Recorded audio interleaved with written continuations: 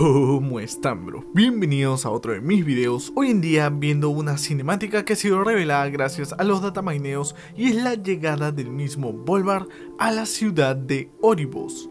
Esta llegada es importante ya que Volvar será parte fundamental de las misiones principales que estaremos haciendo en el plano de las sombras. Sabemos también que él tendrá una conexión con la torre de Torghast y posiblemente con la idea de crear las armas legendarias que estaremos usando durante toda esta expansión. Pero lo importante, y es ahora sí viendo el mismo video de cómo llega Volvar al estilo más OP posible, es que las criaturas que viven en Oribos se sorprenden por las acciones de los mortales, al traer más extraños al lugar. Volvar pide que no se alarmen ya que él y la espada de Lébano son aliados que quieren ayudarnos. Una cosa importante aquí es que Volvar, pese a ya no tener el yelmo de dominación, ni ser un caballero de la muerte como tal, sigue siendo el líder aparente de todos los caballeros de la muerte. Estos aún lo siguen y esto me parece muy interesante. Quizás como él mismo dijo antes, al haber tenido el yelmo sobre él, este pudo liar su alma e intrínsecamente sigue siendo parte de él mismo, así la tenga o no la tenga puesta, y sus poderes todavía laten en su interior. De la misma manera que Silvanas, por ejemplo, al romper el yelmo de dominación, también ligó su alma a este, y hasta cierto punto posiblemente creando una conexión entre estos dos personajes,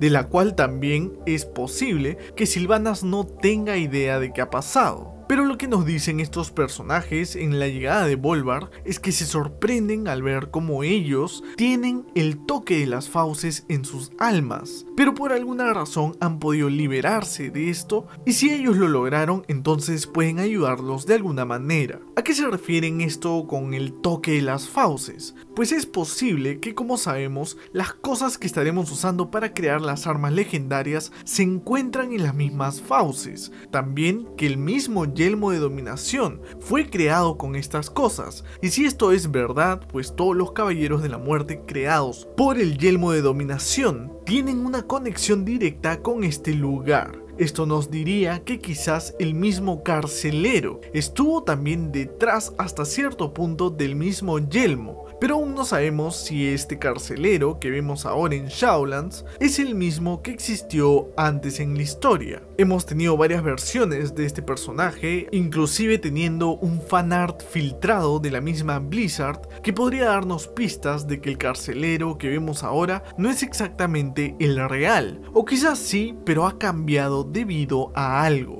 La conexión de Shadowlands con los Caballeros de la Muerte es demasiado fuerte y me parece genial que la espada del Lébano sean los protagonistas en toda esta historia. Por otro lado tenemos otras conexiones interesantes que estaremos viendo también, por ejemplo la conexión de los titanes con este lugar teniendo un Odín que fue creado por titanes y a su vez a una Helya, quien es parte de la misma muerte pero fue una creación del mismo Odín. La relación de estos personajes es muy confusa y la historia tiende a cambiar relativamente bastante dependiendo de qué fuente estemos obteniendo la historia, pero es obvio que Helya posee un pacto con el mismo Y es ella una de las que tortura las almas que llegan recién a Shadowlands. También tenemos la idea de que habrá unos seres que crearon casi todo este lugar, podríamos llamarlo como los titanes de Shadowlands, pero que estos no son necesariamente los líderes de los cultos o pactos o curias que conoceremos aquí.